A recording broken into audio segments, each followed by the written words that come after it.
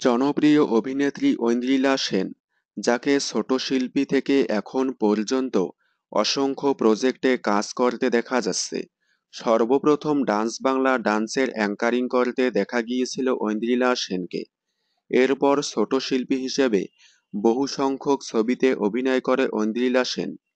প্রথমবার জি বাংলার সাত পাকে বাঁধা ধারাবাহিকের মাধ্যমে ছোট পর্দায় পা রাখেন। তার বিপরীতে অভিনয় করতে দেখা গিয়েছিল জনপ্রিয় অভিনেতা বিক্রম চ্যাটার্জিকে।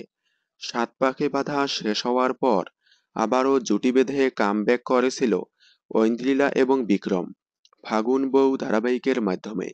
এরপর থেকে ঐন্দ্রিলাকে আর কোনো ধারাবাহিকে দেখা যায়নি।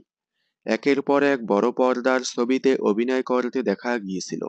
এবার আবারও বড় পর্দায় দেখা যাবে ঐন্দ্রিলা সেনকে। বড় পর্দায় আসছে নতুন ছবি মির্জা। ছবিটির পরিচালনা করেছেন সুমিত সাহিল জুটি। প্রযোজনা অঙ্কুশ হাজরা প্রযোজনা সংস্থা। ছবিটির গল্প লিখেছেন অর্ণব ভৌমিক। অভিনয়ে থাকবেন অঙ্কুশ হাজরা, কৌশিক গঙ্গোপাধ্যায়, ঐন্দ্রিলা সেন ছাড়াও আরও অনেকে। ঐন্দ্রিলাকে দেখা যাবে একজন মাসওয়ালির চরিত্রে। চরিত্রের নাম বেবি মুস্কান। এই ঈদুল ফিতরে মুক্তি পেতে চলেছে নতুন ছবি মির্জা। গতকাল চোদ্দই ফেব্রুয়ারি ভ্যালেন্টাইন ডে উপলক্ষে প্রথম মুক্তি পেল মির্জা ছবির টিজার।